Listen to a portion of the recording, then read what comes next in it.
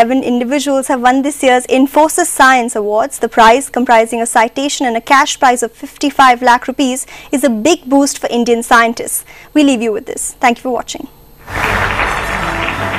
Seven of the country's brightest minds gathered together at the 2013 Infosys Prize ceremony, given every year to research in the basic sciences to recognize path-breaking independent work. Five years back, that this foundation should create role models in this country who will inspire the youngsters to pursue their career in uh, research. Now, if you look at all the winners so far and what they have been able to achieve for themselves and the way they are talking to the youngsters, we believe that that moment has started. The prize, comprising a citation and a purse of 55 lakh rupees, is a big boost for Indian scientists.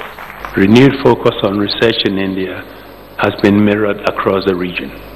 China, the Republic of Korea, Hong Kong have all doubled their investment in research over the past decade.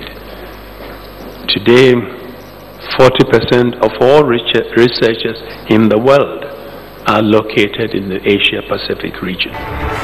Hearteningly, this year saw a significant number of female laureates, three of the seven awardees being women. More power to women.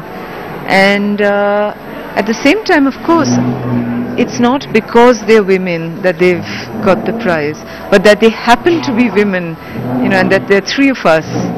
I think it's a great moment. I think it will have a lot of significance for young researchers. Uh, to do a combination of work that uh, research doesn't mean just pure research it also means being engaged at multiple levels. I really come from a very poor background. I mean poor uh, kind of a school kind of a background. There was not really much to talk about about my schooling.